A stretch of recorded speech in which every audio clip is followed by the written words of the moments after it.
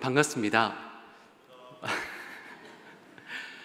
네, 저는 어, 보광중앙교회를 섬기고 있는 어, 황광용 목사라고 합니다. 어, 저희 교회가 위치한 그 지역이 어, 재개발로 인해서 어, 저희가 예배하고 있는 그곳을 떠나서 그 주일마다 예배할 곳을 어, 찾게 되었습니다.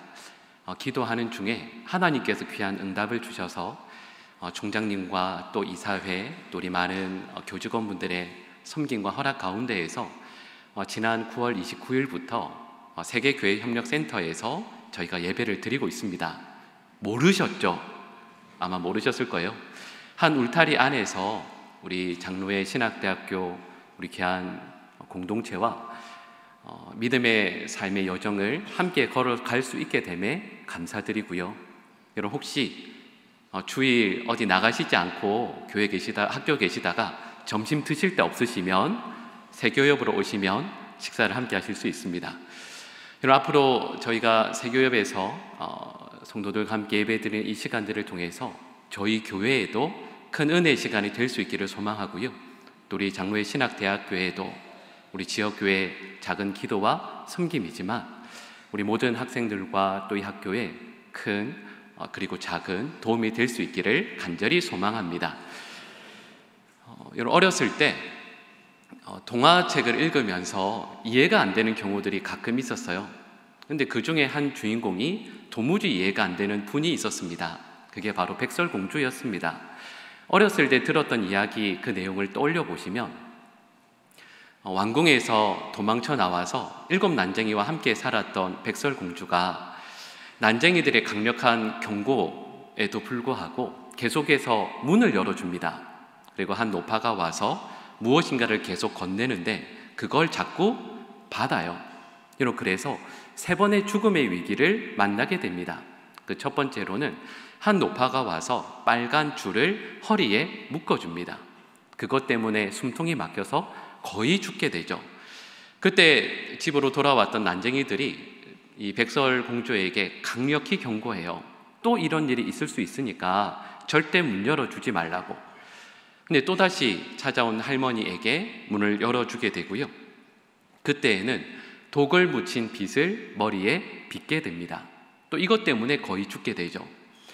난쟁이들의 도움으로 겨우 살아나게 된 백설공주는 다시는 속지 않으리라 결단했겠지만 그 다음 내용을 우리가 잘 알고 있죠. 어, 독이 든 사과를 결국에는 먹게 됩니다. 그리고 그 동화책을 읽어보면 백설공주의 장례까지 치르게 돼요. 그러다가 겨우 살아나게 되죠. 근데 여러분, 저는 일곱 살때 이 동화책을 읽으면서 정말 말도 안 된다라고 생각을 했습니다. 일곱 살도 아는데 그 주인공인 백설공주는 계속해서 속아 넘어가요. 여러분, 왜 백설공주가 그렇게 계속해서 속아 넘어갈까? 이런 생각을 해보신 적도 있으실 겁니다. 근데 여러분, 백설공주가 왜 그 속임수에 계속해서 넘어갔을까라고 했을 때 나중에 나이가 들어서 그 내용을 묵상해 보니 어느 정도 이해가 되었습니다. 백설공주가 어렸을 때 집에 있을 때에는 집에 계모가 들어와서 그 왕비가 항상 자기를 호시탐탐 죽이려고 기회를 노리고 있었습니다. 그러다가 결국 왕궁에서 도망쳐 나왔을 때 백설공주는 일곱 난쟁이와 함께 그 집을 어, 지키게 됩니다. 근데 여러분 그, 백, 그 일곱 난쟁이들이 했던 일들을 아마 다 아실 거예요. 어, 광산에서 일을 했거든요. 그 일곱 난쟁이의 옷을 어, 백설공주는 늘 세탁해야만 했고 또 식사도 늘 준비해야만 했습니다. 여러분 아마 애니메이션 보셨던 분들은 다 기억하실 거예요. 백설공주가 그 애니메이션에 보면 항상 누군가와 대화를 해요. 누구랑 하죠? 노루, 토끼, 새. 사람과 대화하는 내용이 안 나옵니다. 백설공주는 난쟁이들이 아침 일찍 일을 하러 나가면 하루 종일을 혼자 지냅니다. 그러다가 앞서 말씀드렸던 이런 동물들과 대화 아닌 대화를 하고 있는 장면이 계속해서 나와요. 이런 외로움에 하루하루를 보내던 그 백설공주에게 한 할머니가 다가옵니다. 그리고 이렇게 속삭이기 시작해요. 아유, 젊은 아가씨, 얼마나 힘들어요. 마음이 많이 외롭고 힘들죠? 내가 이거 다른 사람이 아니라 아가씨한테만 특별히 주는 건데 한번 받아보시겠어요? 하고는 허리띠를 빗을 그리고 사과를 건넵니다. 그리고 백설공주는 그것을 기쁨으로 받아들이는 거죠. 그리고 그, 이 백설공주는 거의 죽음에 이르게 됩니다. 여러분 방금 말씀드린 이 내용 조금만 생각을 하고 읽어보면 이해가 되지 않는 이 내용이 성경 말씀에도 동일하게 반복됩니다. 그 인물이 바로 삼손이죠. 여러분 삼손은 들릴라라는 여인에게 속아서 어, 거의 죽게 됩니다. 그리고 우리가 알고 있는 것처럼 어, 실제로 삼손은 들릴라의 계략에 속아서 비참한 최후를 맞이하게 되죠. 그때 우리는 이런 질문을 하게 됩니다. 삼손은 왜 이렇게 어리석은 삶을 살아가고 있을까? 하나님께서 특별히 부르시고 소명을 맡겨 주셨고 이스라엘을 구원하는 힘과 능력을 허락해 주셨음에도 불구하고 왜 삼손은 이렇게 어리석게 살아갈까라는 질문을 우리는 하게 됩니다. 실제로 삼손은 참 탁월한 사사이죠. 성경에 나오는 인물들 가운데에서 가장 힘이 뛰어난 탁월했던 사람이기도 하고요. 사사들 가운데에서 출생과 죽음까지 모두 기록된 유일한 사람이기도 합니다. 분명히 삼손은 탁월한 사사임에 분명하죠. 하지만 이와 함께 이 삼손의 사역 역시도 특이했습니다. 삼손 이전에 나오는 모든 사사들은 공통점이 있어요. 그게 무엇이냐면 적과 맞서 싸워야 할 때 항상 나팔을 꺼내고 그 나팔을 힘있게 붑니다. 그러면 거기에 많은 이스라엘 백성들이 모여들었습니다. 그리고 그들과 함께 힘을 모아 이스라엘을 위기 가운데 구했었죠. 하나님의 영이 임했을 때, 하나님의 영에 감동되었을 때, 사사들은 그 감동을, 그 은혜를 홀로 간직하지 않고 사람들과 함께 나누었습니다. 그런데요, 삼손은 결코 그렇게 하지 않습니다. 하나님의 영이 그에게 임했을 때, 삼손은 홀로 맞서 싸웠습니다. 우리가 잘 알고 있는 사사 가운데에서 기드온이라는 분이 있죠. 기드온 역시 탁월한 능력을 갖춘 것은 아무것도 없었습니다. 무력으로, 무력으로든 지혜든 그러했죠. 근데 그 기드온에게 하나님의 영이 임하게 됩니다. 그래서 미디안과 전쟁을 하게 되었을 때 나팔을 불게 됩니다. 그리고 그때 이스라엘 백성들 가운데에서 3만 2천 명의 사람들이 모이게 되었죠. 근데 여러분 그때 2만 2천 명은 실은 겁에 질렸던 사람들입니다. 근데 중요한 게 있어요.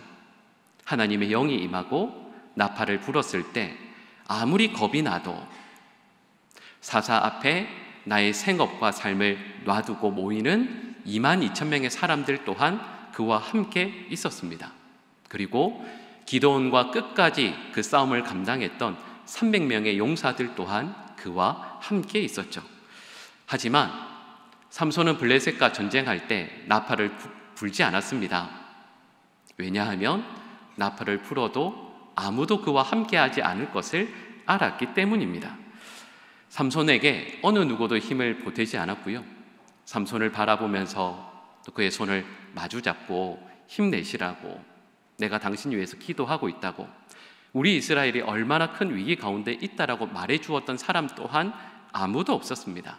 오히려 블레셋이 이스라엘 백성들을 유다의 백성들을 협박했을 때 유다 족속 가운데 3천 명이 나와서 삼손을 결박합니다. 그리고 적이었던 블레셋에게 넘겨 주었죠. 여러분 그 3천 명이 삼손과 함께 힘을 모았다라고 한다면 어찌 이스라엘이 그런 고통 가운데 계속 지내었겠습니까?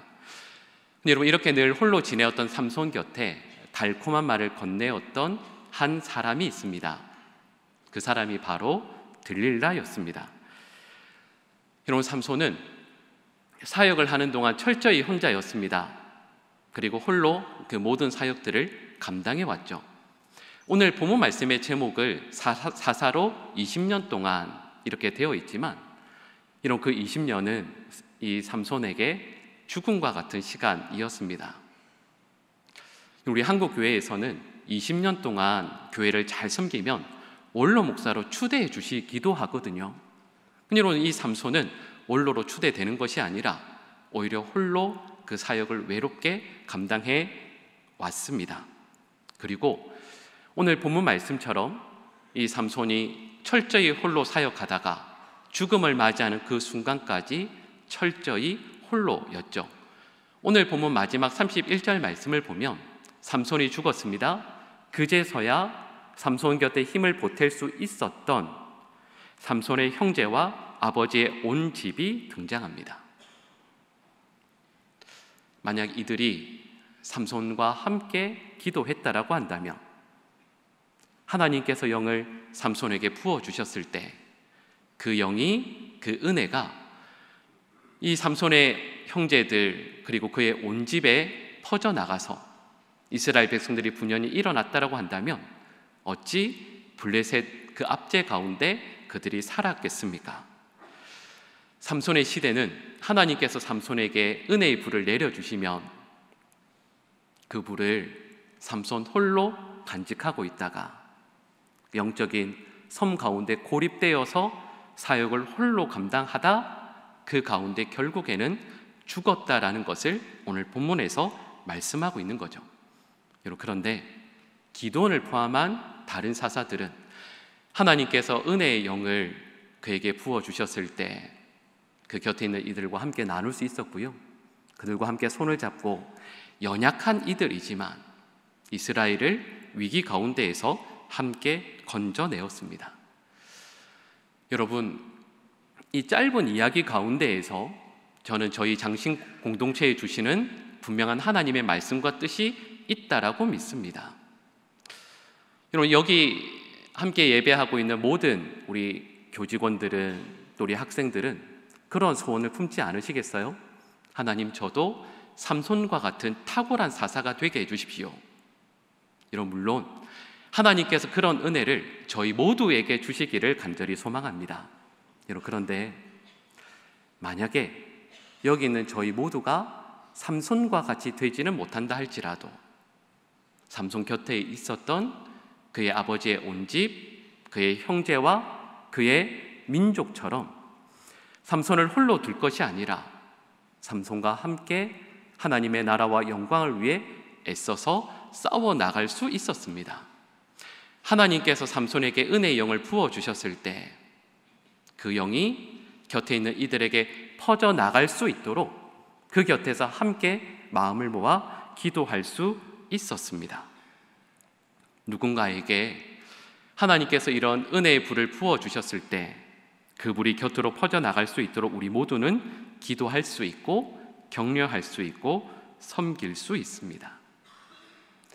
여러분 그리고 저는 지난 장로의 신학대학교에서 공부했던 시간들을 돌이켜 보면 하나님께서 그 은혜의 영을 우리 교수님들에게 우리 직원들에게 또 우리 학생들에게 부어 주시기를 원하신다라는 것을 분명히 믿습니다.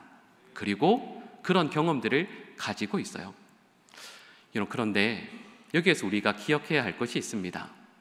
우리 교회 공동체 안에 혹은 장신 공동체 안에 삼손과 같이 영적인 섬에 고립되어서 하나님께서 은혜를 분명히 부어 주셨음에도 불구하고 그 은혜를 나 홀로 감당하다 그 가운데에서 외로워하며 아파하는 그래서 사탄이 건네는 달콤한 목소리에 나의 마음을 다 빼앗겨 버리는 우리 믿음의 지체들 또한 있다라는 것을 기억하셔야 합니다.